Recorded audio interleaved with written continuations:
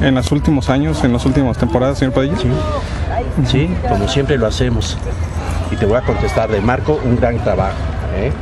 Yo le preguntaba nada más si él había reportado en la cédula la agresión contra el cuerpo arbitral, lo- los objetos que le aventaron en el estadio. Eso no te lo puedo decir, ¿ves? Pero este, creo que vamos por buen trabajo, están trabajando como debe de ser que va a ser una buena liguilla en el arbitraje. Señor Padilla, ¿le sorprendió de repente, por ejemplo, la actitud que tuvo ayer Comiso con Roberto García? Desde luego que no, imposible, digo, no puede hacer una persona esas cosas que vimos, imposible.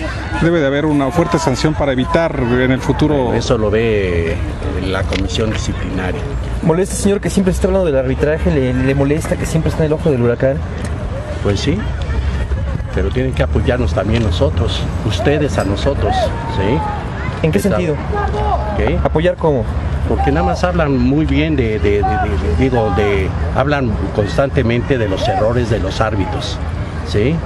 Pero cuando hay un árbitro que hace las cosas muy bien, nunca lo, lo hacen ustedes, nunca lo, lo- nunca ustedes lo, lo- lo hacen este como debe de ser. Oiga, señor Padilla, de cara a lo que va a ser la, la reunión de la asamblea del próximo 26 de abril, lo que va a ser la nueva liga, ¿ha- ¿hay alguna petición en especial por parte de la comisión de árbitros? No, no sabemos nada de eso nosotros. Lo ideal sería quedarse dentro de la misma federación o formar parte de la nueva liga, ¿Quién? la comisión de árbitros. No, no, bueno, no, no sabemos nada nosotros si seguimos o no. Eso más adelante lo sabremos. ¿eh? ¿Qué, qué- qué- o sea, más allá de que no se puede decir de la cédula, ¿qué piensa de las agresiones contra el cuerpo arbitral